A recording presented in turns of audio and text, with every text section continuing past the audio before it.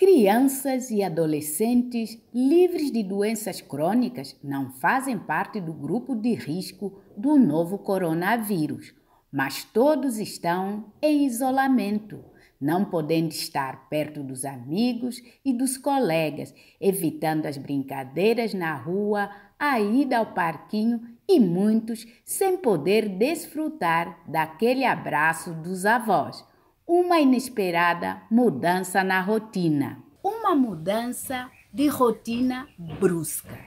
E como lidar com a saúde mental desta geração?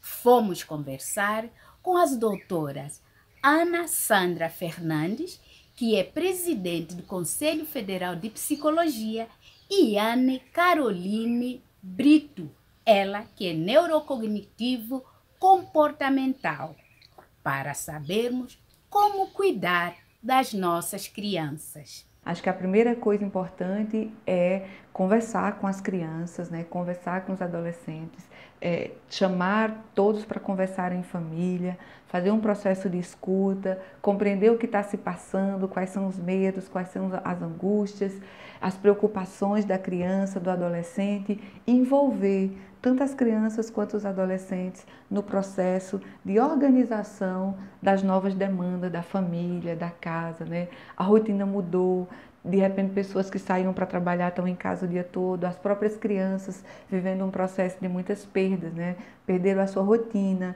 aquele espaço físico onde elas brincavam todo dia, que era a escola, aquela relação mais próxima do contato, do afeto com seus amigos, às vezes perderam o contato, o afeto, o toque com os avós e, e, e com esportes, com outras coisas, com a possibilidade de correr, de brincar com os amigos, às vezes na rua.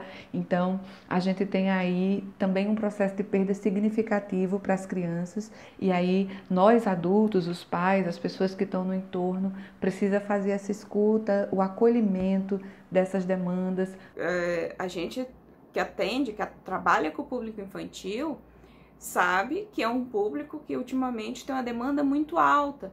Os pais vêm percebendo cada vez mais cedo essa necessidade de buscar ajuda. E tá tudo bem pedir ajuda. Né? Tem muitos pais que quando a gente vai fazer aquela primeira conversa, entender um pouquinho o que está acontecendo, eles se sentem realmente é, culpados, eles sentem que fracassaram porque vieram pedir ajuda de um profissional, o que não é verdade. Nenhuma criança vem com manual de instruções. Se agora, durante a quarentena, o seu filho não consegue acompanhar nenhuma atividade a dele, não consegue ficar parado, ele está pulando pela casa, derrubando tudo, pintando e bordando.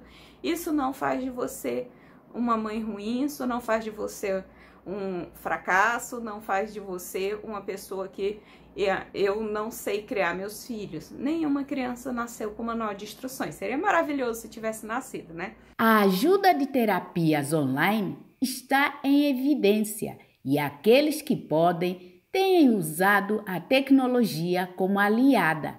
Mas e aquela criança e adolescente que não tem acesso às plataformas digitais? Qual o conselho? É muito importante considerar que a gente vive num país também com muitas desigualdades e que essa situação de pandemia não atinge da mesma forma todas as pessoas. A gente tem muita criança e muito adolescente é, que estão profundamente impactados por fatores socioeconômicos e que nesse momento o sofrimento que se impõe a essas crianças é ainda maior. Então, um apelo às é, é, aos profissionais de saúde, às organizações municipais, estaduais e os meios assistenciais de cuidado para que possam garantir a essas crianças e esses adolescentes o acesso a recursos, aos recursos necessários para que eles possam continuar é, as suas vidas, as suas rotinas, enfim. Acho que é muito importante a gente considerar que essas desigualdades elas produzem um impacto muito grande.